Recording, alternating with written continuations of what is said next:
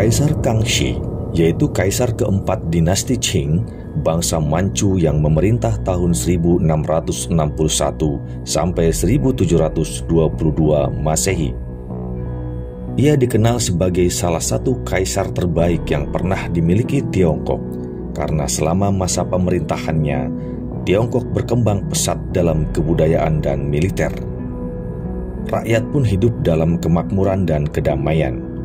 Pada zamannya, Qin menjadi kekaisaran terbesar di dunia dengan wilayah terluas, populasi terbanyak, pasukannya kuat, serta kekayaannya berlimpah sehingga disebut zaman keemasan Kang Qian. Ia menjadi kaisar paling lama bertahta dalam sejarah Tiongkok selama 61 tahun.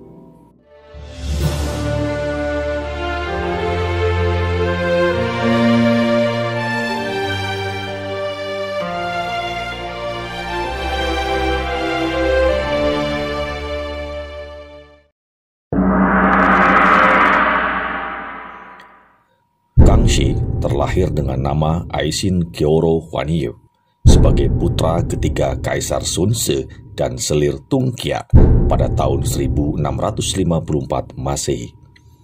Masa kecilnya kurang mendapatkan perhatian ayahnya. Ia pernah sakit cacar dan diungsikan keluar istana cukup lama dan berpisah dengan ibunya. Pada tahun 1661, Kaisar Sun Tzu meninggal dan mewariskan tahtanya kepada Kangxi saat masih berumur 8 tahun. Tak lama ibunya pun meninggal, sehingga Kangxi diasuh neneknya Ibu Suri Agung Xiao Chuangren yang banyak berpengaruh dalam kehidupannya. Neneknya mendidik sangat baik, mengejarkan disiplin, rajin, dan memiliki integritas. Sebelumnya Sun Tzu telah menunjuk empat wali raja yaitu Suoni, Epilun, Suksaha, dan Aoboy untuk membantu kaisar kecil menjalankan pemerintahan. Keempat wali ini mewakili empat panji yang selama ini berjasa pada Kaisar Sun Tzu. Sayangnya mereka tidak akur dan saling bertikai untuk berebut kekuasaan. Di antara mereka, Oboy lah yang paling ambisius. Setelah Suoni meninggal, Oboy berhasil menekan Kangse untuk menghukum mati Suksaha.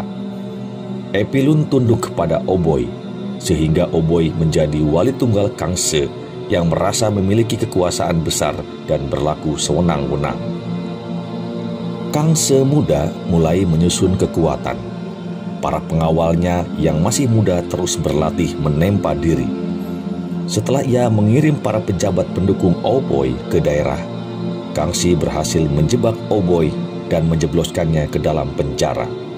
Namun tak lama kemudian ia pun meninggal. Sejak tahun 1669, dalam usia 14 tahun, Kangxi mulai memerintah secara mandiri. Pada musim semi 1662, Kangxi mengadakan pembersihan besar-besaran di Tiongkok Selatan terhadap gerakan separatis anti-Qing pengikut setia yang masih tersisa dari Cheng Chengkong. Kangse berencana menghapuskan kedudukan Raja Muda yang bisa mengancam pemerintahan pusat.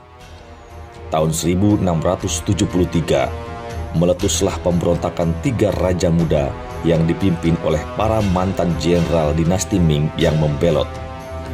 Jenderal Wu Sankui yang terkuat telah menguasai sebagian besar daerah selatan. Untuk menghadapinya, Kangse mempersatukan para pejabatnya untuk mendukung perang itu. Ia merekrut para jenderal yang mampu untuk menumpas pemberontakan. Kangse juga memberikan pengampunan pada para tawanan perang. Strategi yang diterapkan Kang She adalah menundukkan ketiga raja muda itu satu persatu secara terpisah, sehingga akhirnya pemberontakan itu sukses ditumpas pada tahun 1681 dengan mengalahkan Wu Shifan, cucu Wu Sankui.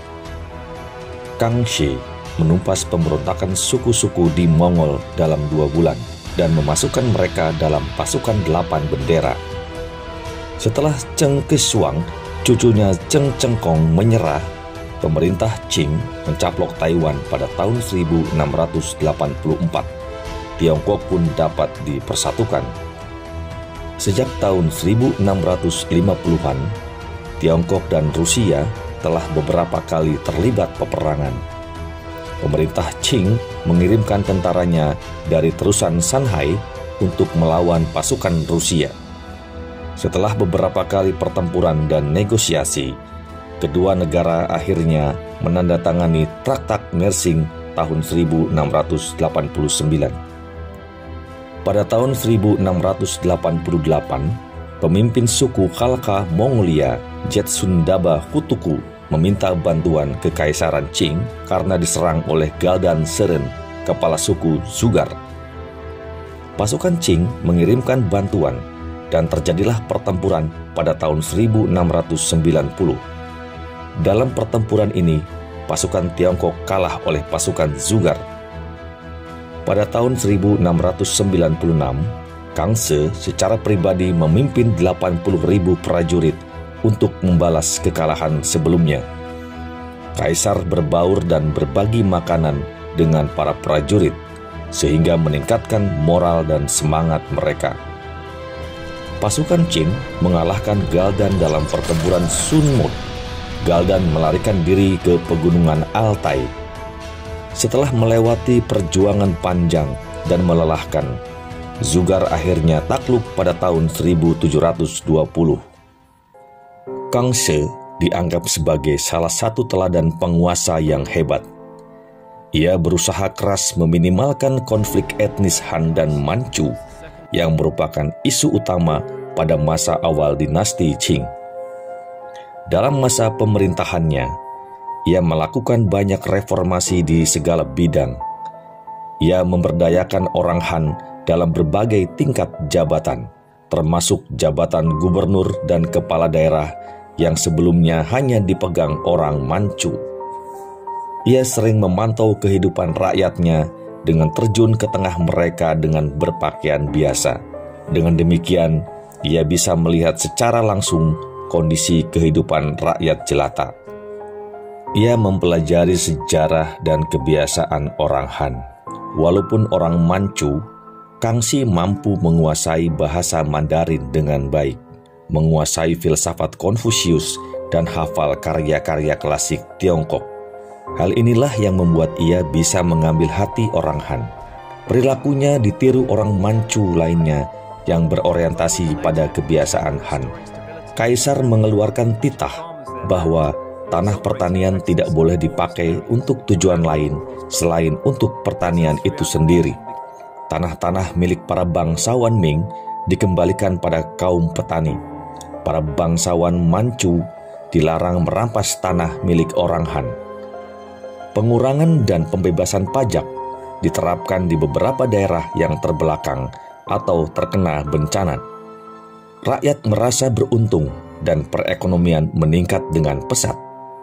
Sebagian pejabat dan bangsawan yang korup kehilangan penghasilan hasil dari penindasan rakyat miskin Han. Kangsi sangat tegas menindak pejabat yang korup. Namun memang perintah kaisar itu tidak gampang dijalankan karena banyak mendapat perlawanan termasuk dari kalangan istana.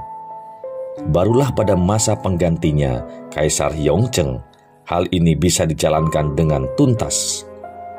Kang Se adalah seorang yang rajin belajar dan penuh rasa ingin tahu dunia luar. Ia mengambil beberapa orang barat untuk mengajarkan ilmu pengetahuan, teknologi, filsafat, dan kebiasaan barat. Salah satunya yang terkenal yaitu seorang misionaris Belgia bernama Ferdinand Verbies yang ditunjuk olehnya sebagai Kepala Deputi Biro Ilmu Matematika.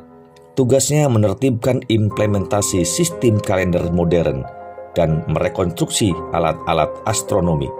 Verbies juga berjasa dalam mengembangkan senjata meriam untuk memperkuat sistem pertahanan Tiongkok. Ada juga Matteo Ripa, misionaris Italia yang melakukan pekerjaan sebagai pelukis dan pemahat kerajaan.